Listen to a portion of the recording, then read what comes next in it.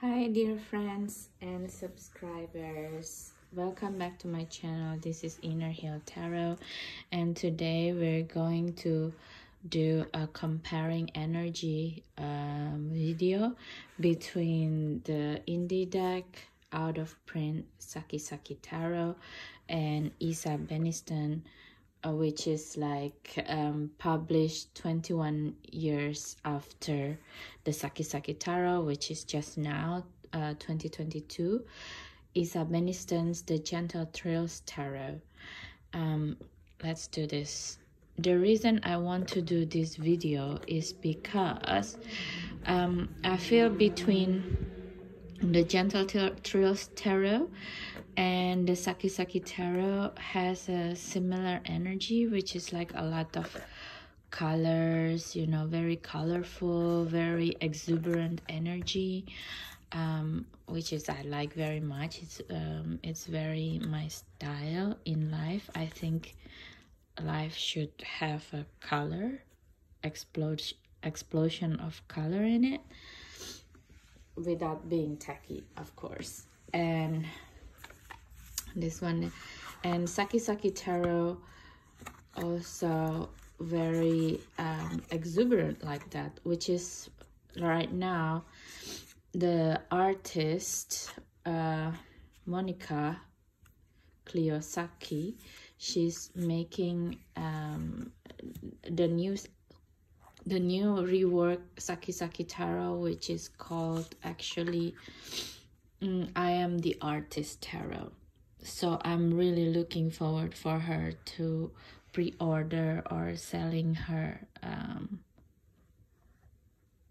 her uh, her new tarot which is which was uh, published in uh, 2004 and it's still very famous now and very sought after. So we will say good luck to monica right now okay?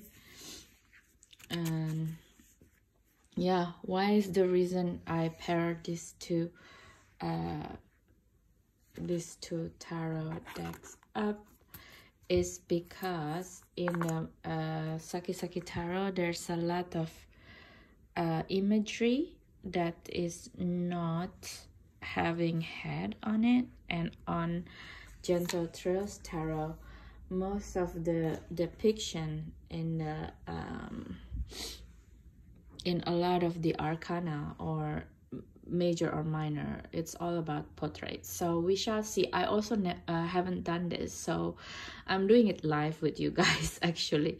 How does it feel to have um, both both uh, uh, deck next to each other and for a reading for example maybe it could help.